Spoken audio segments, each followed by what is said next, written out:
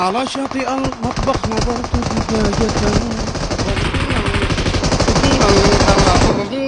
كثيرة اللحم وريش مدندل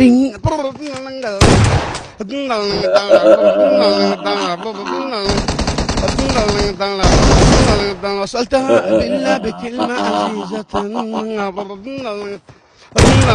أرجوك يا دجاجة من فضلك تكلم